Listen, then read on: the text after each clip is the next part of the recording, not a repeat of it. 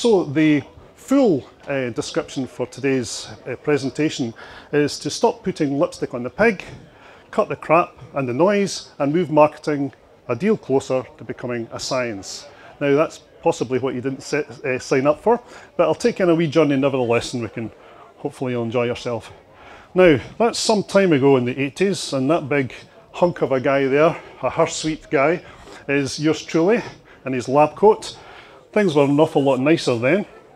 And uh, oops, and that's horrible bacteria I was playing with at the time. I was a micro medical microbiologist and uh, I quite liked that, that line of work because it seemed to me to be authentic and honest.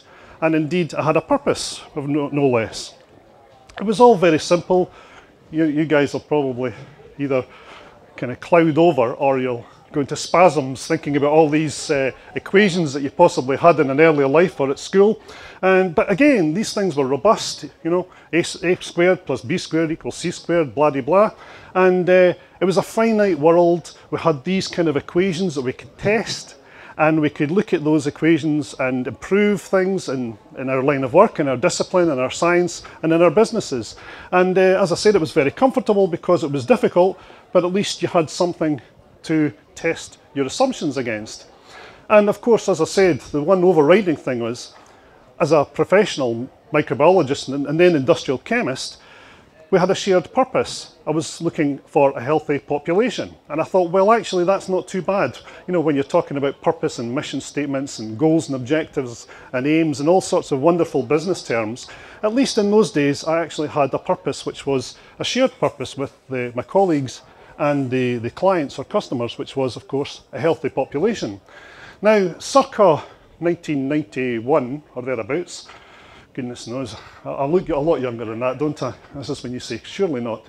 Um, I wasn't at school in 1991, but uh, I moved into marketing and I thought, well, this is what I thought marketing was like. You know, a nice wee village market, people helping each other, goods and services being exchanged and having a, a whale of a time effectively. And I thought it was quite simple as well. Goods and services, we supply goods and services and we get money for it, which I thought was pretty good and it was also based on expertise and effort. So if you made more effort or you had greater expertise, then you were given greater value. Likewise, the, the customer or whomever was receiving greater value.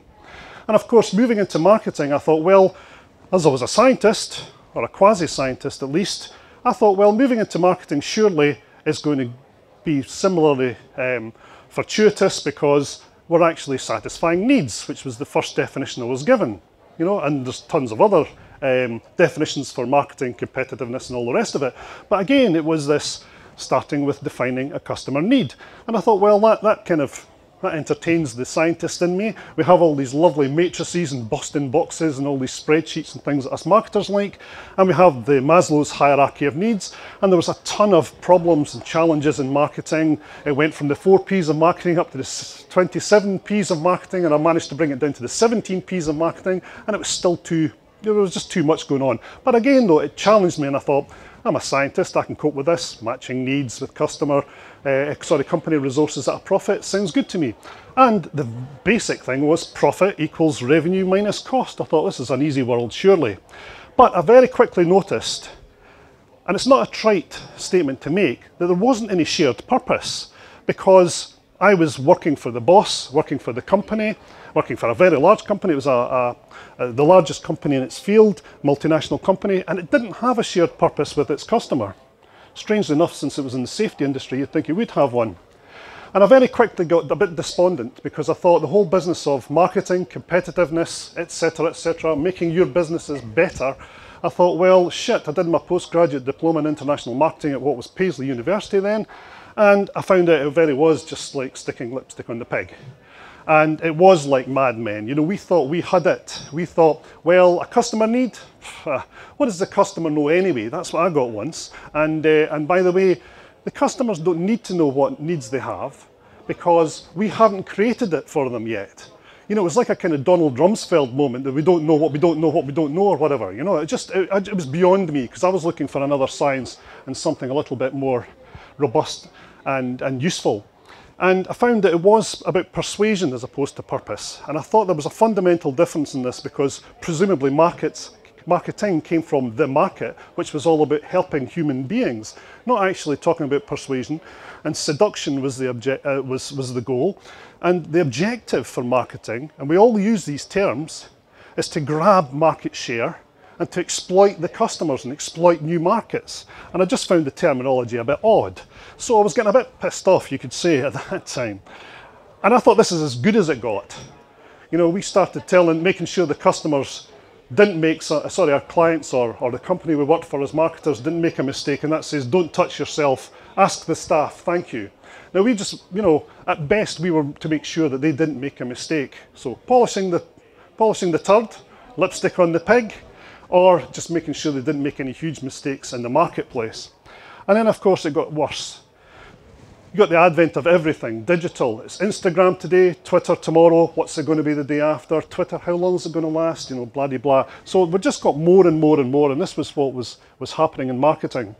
We're sending without receiving and broadcasting without listening. And I've always found it strange how it was all very well in the days of the 50s when you had a, you know, a radio program or a, an advert in a newspaper or a television where you just fired things out and somebody got a hold of it and responded.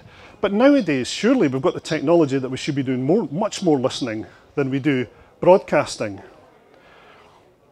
And indeed, I, started, I joined the, the CIM, Chartered Institute of Marketing. I ran their uh, technology group for some time because I thought that's interesting because I'm a technologist for goodness sake. I'm still an engineer scientist at heart. And they weren't bloody listening to the members. That's another story entirely, I'll tell you that over a pint. Um, but the, we as marketers were still not enabling companies to listen properly to the marketplace. Now, effectively this was one of the, the core constraints, the core uh, problems at the bottom of the whole marketing problem. And that is effectively that we do want to make money now and in the future. So in order to do that, we have to make and deliver things as cheaply as possible and what think gives us the greatest margin. That's what all the textbooks tell you, that's what your accountant will tell you, your finance director will tell you, the chartering classes, Scottish Enterprise, etc., etc. will tell you. So, in order to do that, we have to effectively do things based on what our perceptions are of value, because when you hear value add all the time, it's this one of these nebulous kind of uh, phrases like uh, quality and solutions. But we have to give value based on our perceptions of what we do, what we want to do, of course, and our concept of value. And effectively, that means we start to go down the road of giving less. It's always the case when you get into trouble, we're always trying to cut costs, regardless of the size of the company. And that always leads to, as you know, a lack of uh, service and, and, and good products. So we're predisposed almost to give less. Yet on the other hand, we do want to provide things of marked value to the market and get the largest returns for our efforts, investments and resources. So to do that, we have to make sure that we do things based on the value and the needs of the market as opposed to us. And this is an absolute huge conflict. And, and, and in effect, we keep going for the top because of the, the, the strains and things that are put upon us. So the market wants more. It wants us to create better value as far as they're concerned. Uh, but we as companies try to provide actually less and exploit and we have to grab value. And you can almost put it as in terms of efficiency versus effectiveness. There's so much on the go about quality systems and efficiency and lean manufacturing and all these kind of things that we can polish the internal furniture in companies and it's all about efficiency. There's very rarely things about effectiveness, about how you can actually create value in the marketplace, although it is improving, must be said. So on top of all of that, again, I thought, well, at least it's getting a science now because we've now moved from just normal marketing. You know, we've gone through the whole paradigm shifts from manufacturers to products to sales and now to the, this enlightened world of marketing where we actually listen to our customers' needs along came digital and data and all the rest of it, and now we've got tons of stuff. We've got so much now, and we're talking about data mining and looking, you know, we always think that, oh, the answer must be in the database somewhere, you know, or just get more information, and we pay tons of money for reports that are of absolutely no use to us. I mean, a great example is things like, you know, these big Gartner reports and uh, Forrester and Aberdeen research reports that state, you know, we're not saying this, but we've looked at the Fortune 500 companies, and the top 10 have all got red front doors. And if we're not saying if you have a red front door, you'll be more competitive or you'll be a big company, but you're more likely to because they have as well. I mean, that's the kind of thing that's floating around in the world, and it's just horrendous to try and keep up. So there was an awful lot more stuff, there's an awful lot more equations, an awful lot more data, and there's all this false complexity in the world, especially in marketing. There's a plethora of three-letter acronyms, which is of course a three-letter acronym in itself, and paradigms. We all have our paradigm shifts. I feel like sometimes, you know, when you're talking about these things, you're in an, an episode of The Office. You know, honestly, I mean, I, I, hated The Office when it first came out because it was so painfully true. And uh, data, data, data on what? You know, we're, we're effectively measuring absolutely everything. And I think that's a mark of desperation as opposed to a realization that we can actually use uh, customer information a little bit more effectively. And this word, which is great, and I, I, I always hesitate to use it in case I make a mistake on camera, is measuration, because we can measure everything now. We measure it absolutely everywhere, and that, that's actually a term that was coined by uh, Rory Sutherland of the uh, uh, of the I forgot what Rory works for now. Uh, Ogilvy Group, Ogilvy Group, you know, one of the big marketing agencies.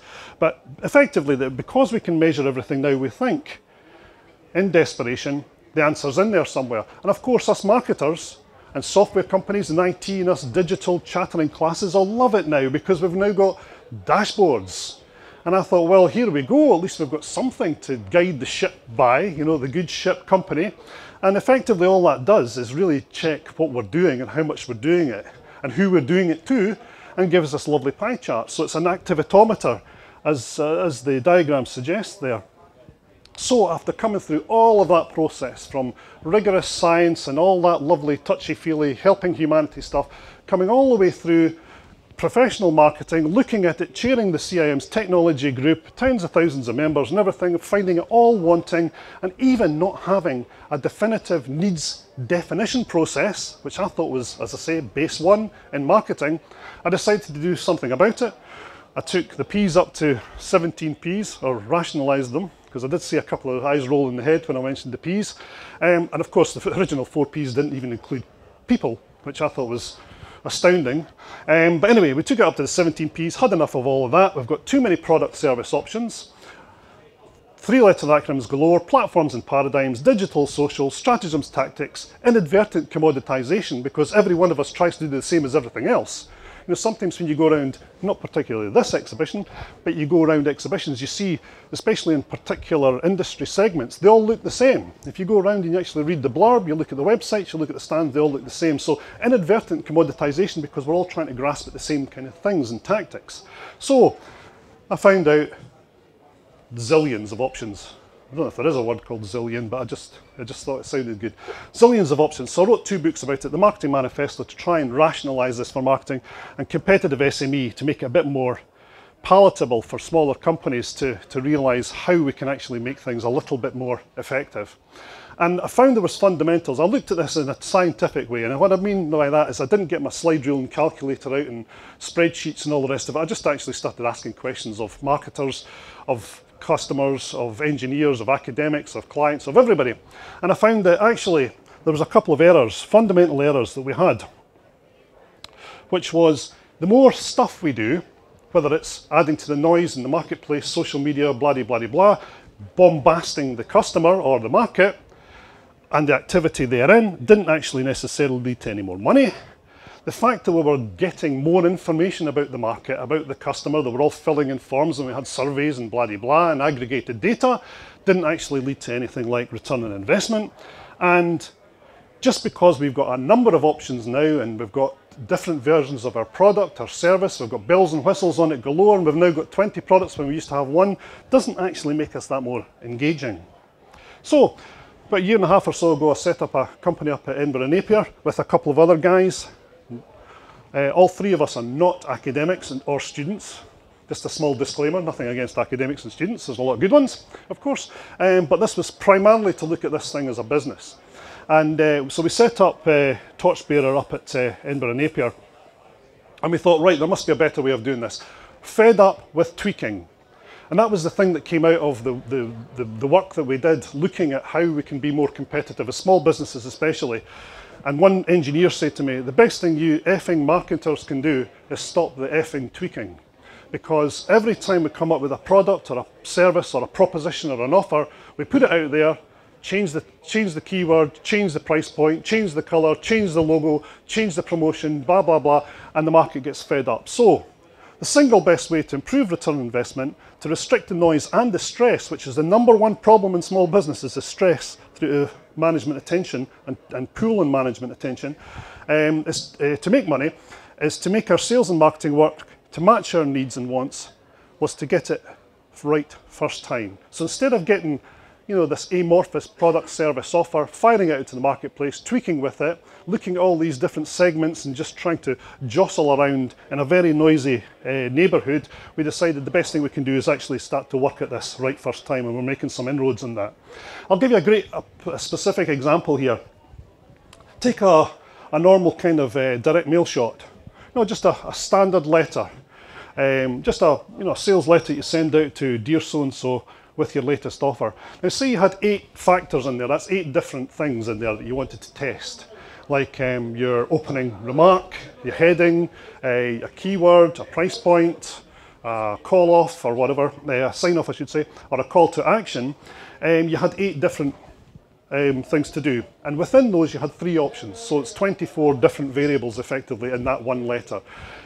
One letter doesn't sound a lot, but when you look at those variables, you think, well, actually 24 different variables, that's an awful lot when you consider I want to know which is my best way of putting my offer together and articulating it.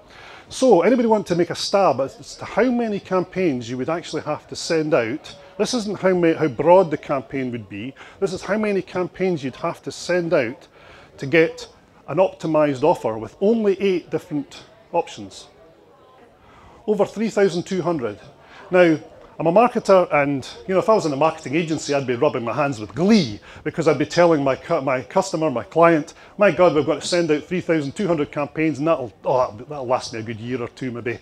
And in year two, we'll maybe be able to op optimize your offer and by that time everything's moved on. And of course, we all know 3,002 campaigns, one after the other, to a similar audience or the same audience is just going to cheese them right off.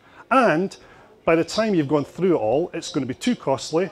Things have moved on, competitor reactions and all the rest of it. So that kind of number was just completely crazy. So what would it be worth to everybody to actually shorten this from 3,200 campaigns? So that's what we uh, effectively started to look at. And we started to think, well, what is the defining way that we move forward? What is our objective in all this for the right first time, apart from articulating the offer correctly with one major competitive advantage in the offer rather than a hundred others is wouldn't it be nice just to define our best advantage? Because I've also found in life as a scientist that if you find the one thing that's right hmm, everybody knows that's great but you've also dumped 99 other things or 100 other things or 1,000 other things that everybody thinks is a great idea. And that, you should see that when you drop that because all of a sudden your stress levels go down, you stop wasting money, you stop pissing off customers, and everybody has a better time of it all and there's a shared purpose starting to form. And also going back to the measuration thing is start to use better metrics that matter and dump those that don't. Now these are all obvious things to you. And as I said, I'm telling my granny how to suck eggs, as they say in this part of the world. But wouldn't it be great to be able to do it other than just talk about it? And use the best description of your offer and to stop spending on poor promos and tweaking. So that was our thesis that we could actually achieve this and stop worrying about the competition and desperately tweaking with everything. One thing I've always found very strange is somebody coming in from science into marketing. Everybody get themselves all uh, buzzed up about what the competition is doing. And I was asking simple questions because it was simple to me. Um, how much time do you spend looking at your competitors and competition versus actually speaking to your customers? And I found that the bigger the company is, the worse that got. Because they started getting, you know, I mean, they actually started to formulate their own strategies just by looking at the competition as opposed to looking to, the, to their customers. And I found obviously they were still putting lipstick on the pig, and we can stop that now. So, simple guy, although I came from robust science, I wanted a simple way of looking at all of this. And I thought, well, here's a nice wee equation whereby you've got knowledge on the one side, which is the ability to create and maintain a relevant, a relevant and strong USP. When I say relevant, I mean I could have stood here in a Harlequin costume today, and you would have thought, well, he's got a USP, I'll never forget him. but I'll be buggered if I'm actually going to buy from him. And uh, so, get a relevant USP, and related to that is the, the, the, your ability to have good marketing effectiveness and to actually drill down your customers' needs to a few customer needs as opposed to looking at all customer needs. And that will give you true ROI. So, effectively, the one thing we're working on just now is looking at improving marketing effectiveness. We're getting a process together, which I invite, I'll, I'll, I'll tell you about in a second, invite you to come along. Um, it's to specifically try and get a process, a repeatable process, to stop this 3,000 requirement for 3,200 and reining that into 10, 20 maybe campaigns. So we need to get our marketing effectiveness better. That's truly better as opposed to just doing more. And secondly, funnily enough, I think this was kind of counterintuitive as well, was that we actually need to drill down those customer needs, as I said earlier.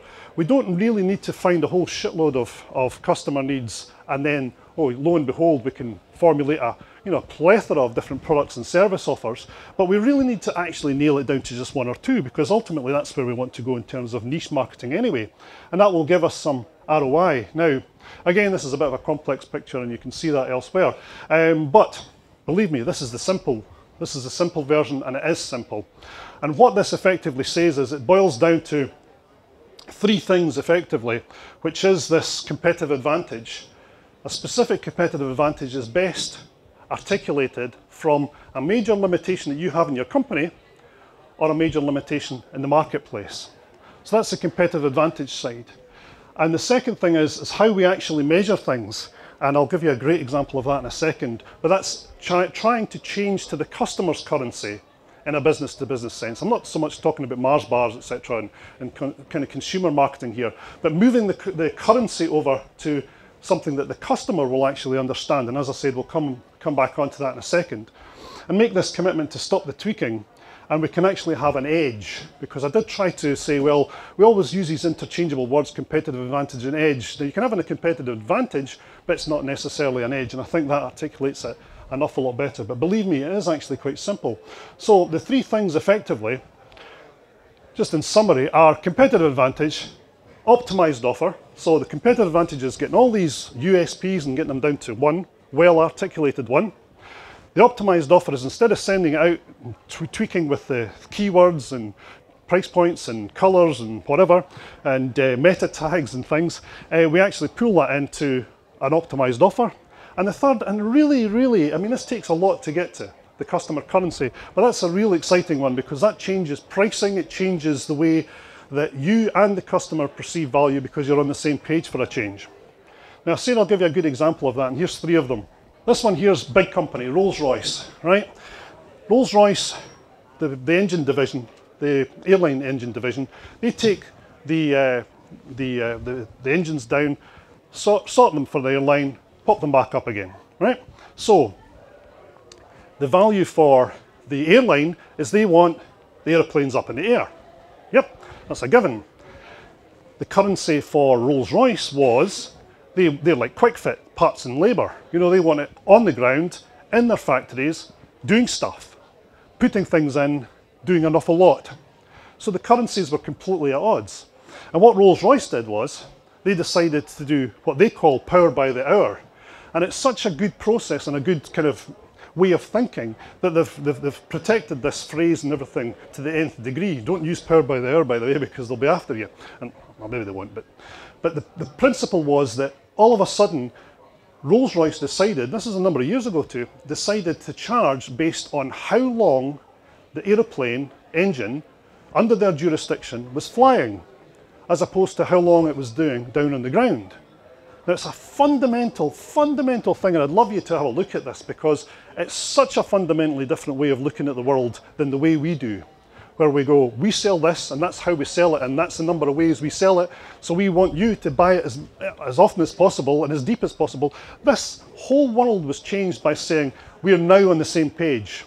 When your planes are up there, we're all happy, we're getting paid. Secondly, this was a, a physiotherapy uh, company, no names because it's through this part of the world. Um, and again, it was a, a two, two, or three girls had a, a, physiotherapy company. And what they did was they went out to offices and their business effectively was they, they said to the company, if you have people who do uh, sporting, uh, sporting activities or they cycle to work or run to work, and you don't want them to be off, obviously. So when they get an injury, we'll come in, look at them because they don't always get to the GP, they don't always get the care and attention. We'll come in, make sure they're okay. We'll even maybe even visit them in the home, in their house, get them ready and get them back again. But they went through this kind of process and they thought, well, actually, here's a better way of doing it. Change to the customer's currency. We, we didn't use those terminologies at the time, but effectively that's what they were doing because we've just started using the customer currency as a phrase. What they did was now they go into the company and they say, we will audit all the people who are sporting people or people who cycle to work or run to work or whatever and are likely to have possibly get uh, some kind of uh, injury. We'll come in and check them all on an ongoing basis and it won't cost you any more and we'll do that and we'll make sure they're not off. And what happened? What happened? Absenteeism went down and that was the currency. So they, instead of saying, anytime we turn up, we're charging you, which is our currency by the hour, by the half day or whatever, and the company is going, well, actually, my currency is not that because i would only buy you in to stop these people being off too long, and I want them fit and healthy and happy because I like my employees as well.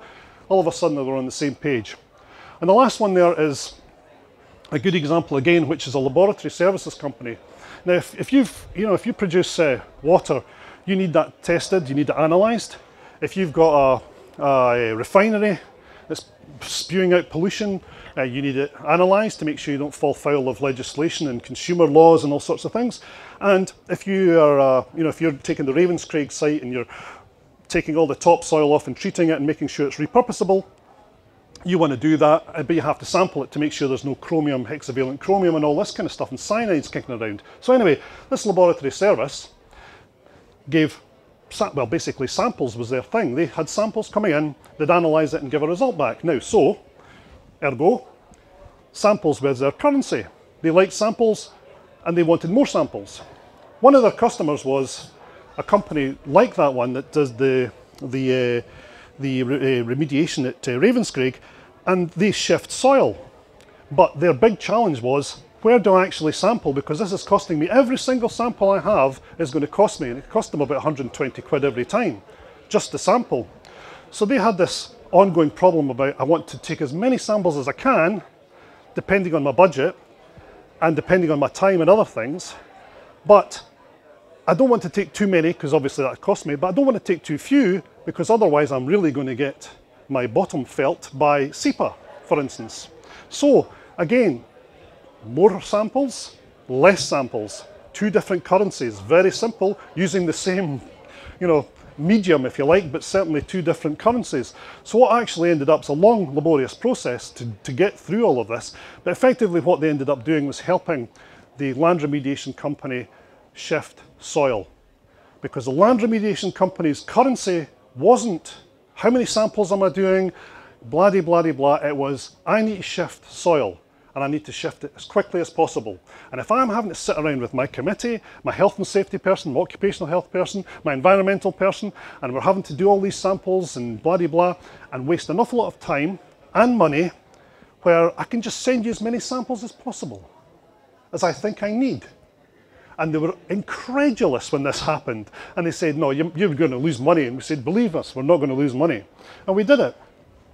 And that, that, these companies that did this, this particular change of currency, they actually ended up spending more money with the laboratory services company.